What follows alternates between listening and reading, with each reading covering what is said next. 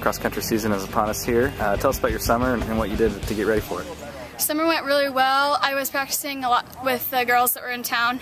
Um, I practiced a lot with Caitlin, and just a bunch of us did long runs together. And when we started workouts in July, we were a pack, and we really worked around each other's work schedules and such.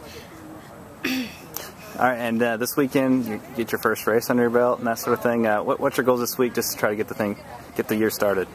I think the main goal is just to be a pack, and then at the end, whoever can outkick the most will obviously win. But I think it's mostly just a team effort right now. Well, Evan, uh, another cross country season is upon us here. Uh, I'm sure you had a very busy summer getting ready. What, what was your focus this summer with training?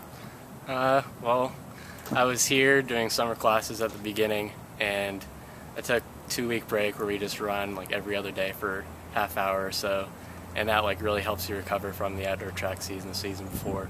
And then I went into like just gradually building up to mileage. I my max hit like 93 miles, and then I wanted to hold around like 85 to 90, and then we workouts started coming in.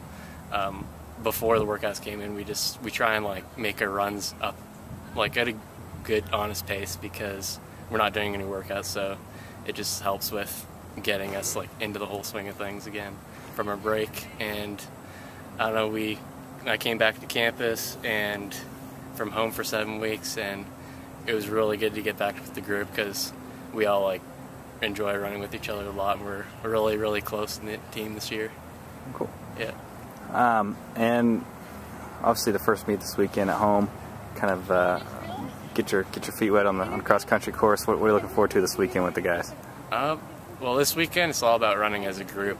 Um, we know we have Zach and Andy, um, obviously our two top returners from last year, and we know like we have to do some good things this year, and we know we will, and we have to our next three guys or four guys, whoever that's going to be, have to just work together. So this weekend we're all just going to try and run together and finish strong. Um, I don't know exactly if we're racing this weekend, uh, but we're definitely running at a good pace to just get used to running as a group because we'll have to do that in meets to come.